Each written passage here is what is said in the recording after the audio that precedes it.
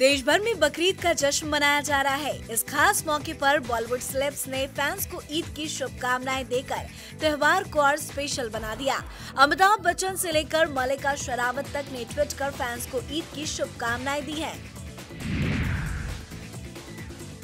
सारा के बजट पर कूली नंबर वन के मेकर्स ने फ़िल्म के दो नए पोस्टर रिलीज़ किए हैं। एक पोस्टर में सारा वरुण धवन के साथ नज़र आ रही है। वरुण धवन ने ट्विटर पर नए पोस्टर को शेयर करते हुए लिखा, सारा तेरा बर्थडे आया बर्थडे के दिन मैं तेरे लिए पोस्टर लाया। तो वहीं दूसरे पोस्टर में वरुण सिर पर सफ़ेद टोपी लगाए और गले में गमछा डाले, सामान ढोने वाली गाड़ी पर खड़े नज़र आ रहे हैं।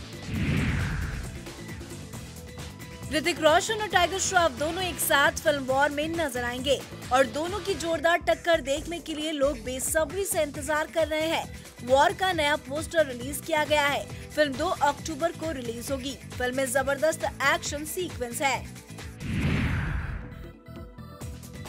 International star Priyanka Chopra America में एक इवेंट में बेहद शानदार आउटफिट में शिरकत करने के लिए पहुँची। प्रियंका इस इवेंट में व्हाइट कलर के कोट पैंट में काफ़ी स्मार्ट लग रही थी। इसके साथ ही ब्लैक शीर इनर उनके लुक को काफ़ी ज़्यादा हॉट लुक दे रहा था। अमिताभ बच्चन और जया बच्चन की बेटी श्वेता बच्चन की शादी निखिल नंदा से 1997 में हुई थी। दोनों की शादी को काफ़ी ज़्यादा टाइम हो चुका है, लेकिन श्वेता बच्चन की एक पुरानी फ़ोटो काफ़ी वायरल हो रही है।